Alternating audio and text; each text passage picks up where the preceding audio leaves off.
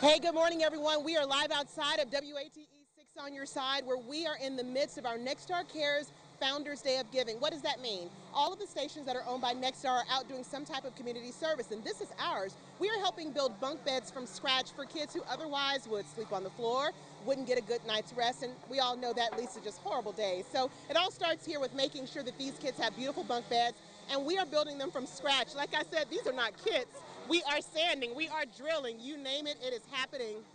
Okay, at this time, we do want to bring over. See, look, they're trying to work right now. Can I can I interrupt for one second? Because I got to talk to Bill real quick. Uh, Bill is with the local affiliate here that puts all this together. Tell us about the work that you all do. We're the name of our chapter is uh, Knoxville Northwest.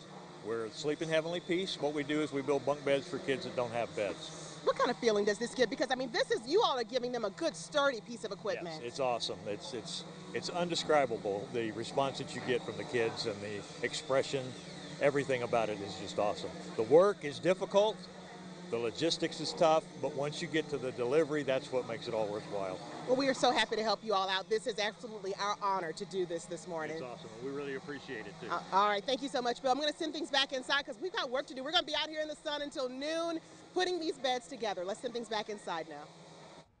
Thank you, Tearsa. Shana are excited to get out there and start helping. We kind of cheated and went out a little bit early there to see the setup. And Tearsa's right. We are building from scratch. Well,